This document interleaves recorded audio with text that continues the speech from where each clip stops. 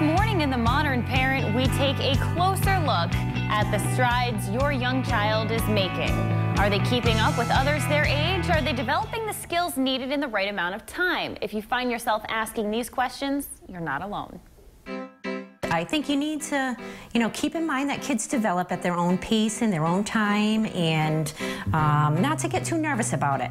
But you should be aware of a few things to see if your child is on track. Know, when they're younger and they're not babbling, they start to get a little older, 12 months, and, and words are not starting to develop. It may not be that they have a speech delay. It could be simply that they have an ear infection, they have fluid in their ears. Um, it could be that they are, are a dual language learner in their home. When it comes to fine or gross motor skills, the fine you're looking for if they have strength in their hands. Um, can they hold a you know a big crayon, a kind of chunky crayon and pencil? Can they grasp objects? You know, um, large gross motor. You're looking to see can they jump? Can they skip? Can they run? If you're seeing delays in this again, contact your pediatrician. Keep an eye out for social delays. You want to make sure that they're grasping concepts. You want to make sure that they're interacting and engaging with other children. Um, they can identify objects and point to them.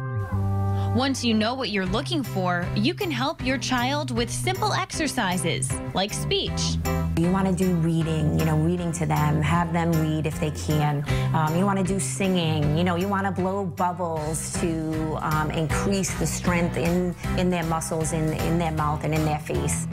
For fine motor, you want to get them out there and you want them to strengthen the muscles in their hands. You want them to be able to grasp a pencil and, and, and you know, engage in some craft activities. Increase gross motor skills during your day-to-day -day routine. Let them bag some of the groceries so they can lift, you know, and they're using their muscles to do that. For help socially, you want to get them out and about in the community. You want them to be inter interacting with um, other children. So get them involved in activities. It could be something simple from, um, you know, story hour. It could be, you know, joining a baseball team, whatever it may be. Just get them out there and get them involved. Plenty of ways that you can encourage your children. And again, if you see any red flags or have other concerns, contact your pediatrician. For more information from the Children's Workshop, head on over to rhodeshow.com and click on the Modern Parent channel.